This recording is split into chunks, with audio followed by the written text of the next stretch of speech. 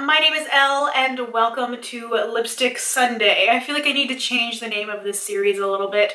I'm still gonna call it Lipstick Roulette for now just to keep it going, but it's really not a roulette project anymore. So I used uh, nine different lipsticks over the last two weeks and I used them in a couple different ways and obviously repeated a bunch of shades. They're all nudes.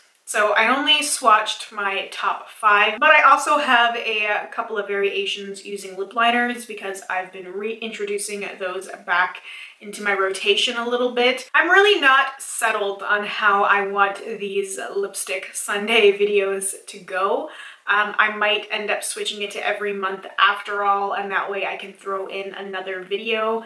I just, I feel like I have so many ideas and I don't want to keep doing the same like couple of things over and over again. It just, it loses its appeal after a while. So the first lipstick I'm going to talk about is from Lime Crime and this is Marshmallow. It is a very light pale pink, very pretty, safe color. A lot of the shades that I wore actually all of the shades I wore were our very safe nude neutral colors.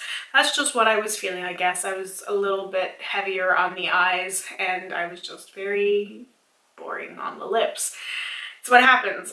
Um, so Marshmallow, I really like wearing it on its own. I also wore it two different days with a lip liner. So one day I used a ColourPop lip liner all over my lid. This is Skimpy and it's just a darker neutral pink color and then I would put marshmallow on top of that doesn't really change much it just makes marshmallow a little bit deeper I don't find that the Lime Crime Velveteens need a lip liner underneath, or at least most of them don't. Um, but I liked the effect and I like being able to change stuff up a little bit. I also just find that liquid lipsticks in general last longer or just don't fade as weirdly when you have a lip liner underneath because when it starts to fade away you still have that lip liner. So I like just to mix it up and that's what I really missed um, was my lip liners because I have a few that I actually really do like. So I also used marshmallow with this lip liner from MAC. This is Boldly Bare another neutral lip liner.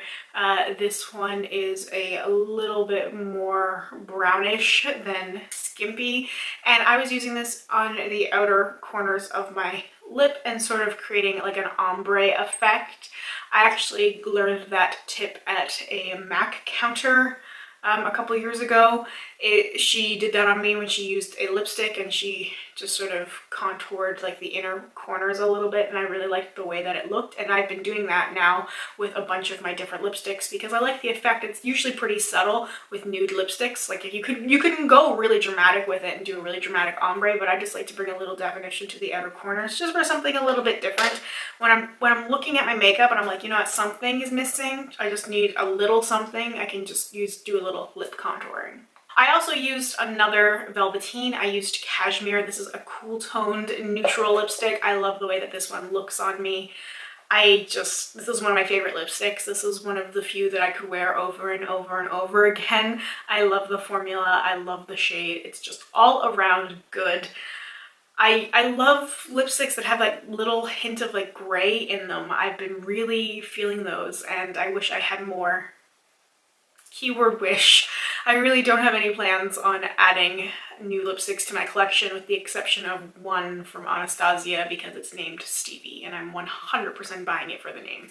Already decided on that one, but that's the only addition I'm planning to make because uh, I just want to use the ones that I have. And I just, I have things that I really do love, like cashmere. And if I love it, I might as well keep using it and get my enjoyment from it instead of trying to find something else that's similar to it. I also used another lip lingerie from NYX. I used Satin Ribbon, so I used this on its own, and then I also did the lip contour thing with uh, this lip liner Morning Coffee, which is one of my all-time favorite lip liners. This is a really gorgeous, deep, neutral color. I just, I love this shade. And the name is so perfect because it really is pretty brown. It's so good, it's so good. So I would do the contour thing, but then I would also just outline my lips with this lip liner and then cover it with the lip lingerie to just get a little bit of a deeper effect instead of just coating my lips with morning coffee and then putting the lip lingerie on top of it. I just didn't feel like they matched very well, but just a little bit of it, I could get a little bit more definition. I've been trying really hard to avoid that terrible um, nude lip with the brown lip liner thing. I was obsessed with that back in the early 2000s. I like wanted it to make a comeback. The pale lip and the brown lip liner, like it was just, it's so bad. It looks so tacky sometimes, but I just, I'm, I guess I just am a very tacky person. Other standouts for me over the last two weeks were ColourPop's Times Square, one of my all-time favorite lipsticks. It's starting to get a little bit dry, which makes me really sad because I really love it, so I'm gonna have to get more use out of it. I've noticed that a lot with my ColourPop liquid lipsticks. They're starting to get a little bit dry, so they're not as liquidy as they were before. They don't apply as easily. It really does make me sad because I have so many of them and that really was not smart of me. I just got really obsessed with them really fast and I bought all of them. Don't do that learn from my mistakes and don't buy all of the liquid lipsticks at the same time because you will not be able to use all of them like you think you can. Um, and Times Square is also an ultra matte and I love the ultra mattes. I just I love when a lipstick just sticks to my face and now that it is a little bit drier it actually sticks a little bit better so I have a love-hate thing going on now with the drier formula. And the uh, last standout lipstick is from Stila. It's one of the Stay All Day liquid lipsticks and this is Baci, another cool toned lipstick. I'm actually wearing Baci and Times Square layered together on my lips right now because why not? Uh, mixing and matching things is becoming a little bit more fun just because I'm not confined to the certain amount of lipsticks for the week. I'm just having fun mixing things and playing around with different things. So that's been good. Um, the other four, which I just didn't bother swatching because like it's more neutrals. Um, another NYX Lip Lingerie in Corset. I actually wore this in a video not that long ago. The Pan palette update I did. So if you haven't seen that, you should definitely go check it out. It's a yet again, another cool tone lipstick. And then I have some more warmer liquid lipsticks, Anastasia's Naked, a little bit peachy. Actually, the other two are peachy as well. I guess that's the uh, the phase I was in, no surprise really. Um, Instigator and Autocorrect, both from ColourPop. Instigator is a more of a true peach and Autocorrect is more of a peach toned brown lipstick. I like brown lipsticks a lot and I do love that little hint of peach in them. I've really just been feeling peach again. I'm right back in that phase where I wish I could just do monochromatic peach makeup all the time. I just love orange. I love orange makeup. I just love the way that it looks and contrasts with my eyes and everything else. So that was my very boring lipstick check-in. Nothing very exciting.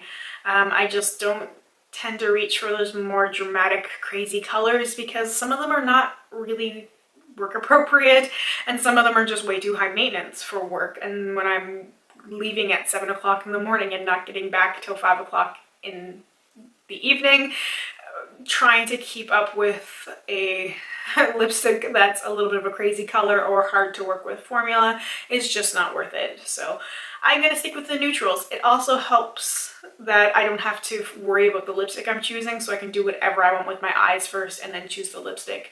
And where I'm concentrating on panning stuff right now, my eyeshadow tends to be a little bit heavier than it might normally be. So anyway, I love lipstick a lot. I'm just not feeling this project anymore. Um, in case you guys missed my last update where I talked about that, I'll, I'll talk about it just briefly again um, that I, I have been a little concerned with some of my stuff expiring, but I also feel like the project has reached its end point for me. I have a lot of lipsticks, but I also like to use a lot of different things and I just, I don't want to declutter for the sake of decluttering. It would just be totally pointless. I tried doing that before and I it just didn't work for me. I ended up keeping stuff and going through them with the lipstick roulette. That's why I created lipstick roulette in the first place because it just wasn't working for me. So anyway, I might do this monthly and sort of combine it with my um, makeup basket because you guys might know that I'm starting a new series called What I Wore, which I will be talking about the makeup I wore for each month where I'm not doing as many painting projects as I once was. So maybe to correspond with that, whatever week I'm going to do that, I will also do my Sunday lipstick roulette as uh, what I wore for the month, maybe something like that. And I'll just, I'll swatch my standout stuff and anything that's different, but I won't swatch everything because there's no point anymore. I've swatched pretty much everything. Anything that's new or I haven't swatched before, I'll definitely swatch, but I'm not gonna, you know, swatch marshmallow if I happen to use marshmallow again. It's just pointless. Yeah, I get to use the lipstick a few more times, but nobody is learning anything from it anymore and it's not fun anymore, I guess is the main point of it. These lipstick roulette videos um, have lost a bit of their appeal for me and I feel like they've lost a bit of their appeal for you guys as well, just a feeling I have just because it's changed and it was exciting at first and now that it's going in a different direction it's not as fun. So anyway I do think going monthly will probably be the best decision with this and then I get to throw in something new and I'm really excited for that um, because I have so many ideas and I just keep writing idea after idea after idea. I have lists and lists of things that I want to do that I just never get around to because my time is incredibly limited, which sucks because I just love doing this so much. So anyway, thank you so much for spending some time with me today. I really, truly appreciate it. I hope you have a wonderful week ahead of you. I will see you next Sunday for hashtag 365 days of samples and in two weeks time for something completely different. If you have any suggestions or ideas for things you would like to see me do, please leave them for me in the comments or send me a message or whatever. I love hearing from you guys. It's uh, the connection is why I do this. It's just so much fun meeting so many like-minded people who I can talk about makeup with. It's, it's so much fun. So anyway, um, that's all I have to say and I hope I'll talk to you soon. Bye for now.